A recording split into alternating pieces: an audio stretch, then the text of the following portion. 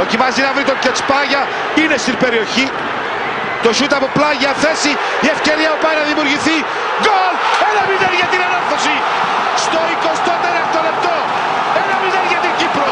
24ο λεπτό με τον Νίκο τον Νικολάου.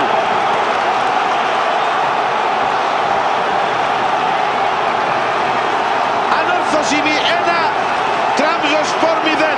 Στο 24ο λεπτό με τον Νίκο τον Νικολάου να αξιοποιεί όλα τα καλά που έγιναν στην περιοχή του Τζέφερσον.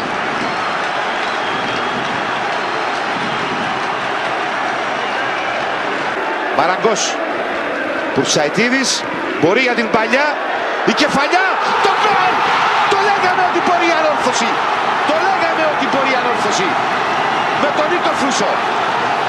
Στο 22ο λεπτό 2-1 για την ομάδα της Κύπρου 2-1 για την ανόρθωση από Κόστου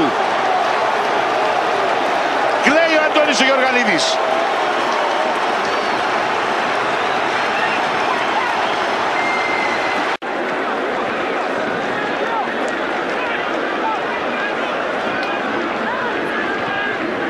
Παλιά για τον Τσιταϊσβίλη κοντά στο 3-1.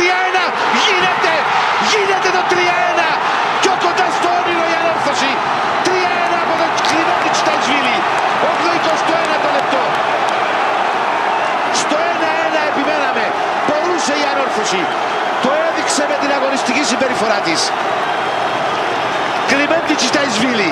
3-1 και πάει στην τραπεζούντα η ανόρθωση κουβαλώντας το όνειρο της Κύπρου για πρόκριση σε βάρος της.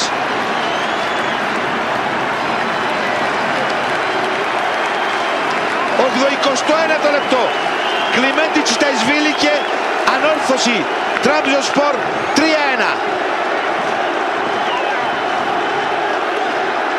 Εδώ πεντακάθαρη φάση Μπράβο Κλειμέντη Τσιταϊσβίλη Μπράβο στην ανόρθωση.